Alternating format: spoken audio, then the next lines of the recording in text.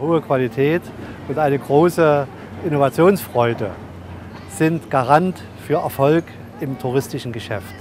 Wir sind sehr stolz darauf als Landestourismusverband Sachsen, dass die Fangemeinde der Qualitätscoaches in Sachsen bereits mehr als 2300 ausgebildete Qualitätscoaches umfasst.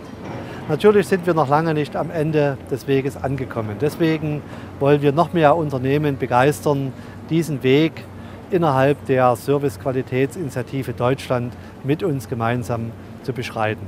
Denn letztendlich entscheidet der Gast, welche Angebote, welche Qualitätsangebote er annimmt und bucht.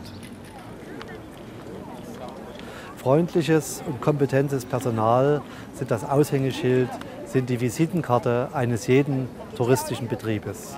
Aber ausgebildetes Personal fällt nicht vom Himmel.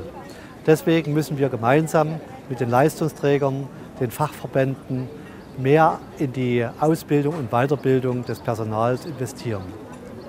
Außerdem müssen wir junge Leute begeistern, Berufsausbildung in touristischen Betrieben zu beginnen. Diese Aufgabe stellt sich der Landestourismusverband Sachsen gemeinsam mit seinen Partnern.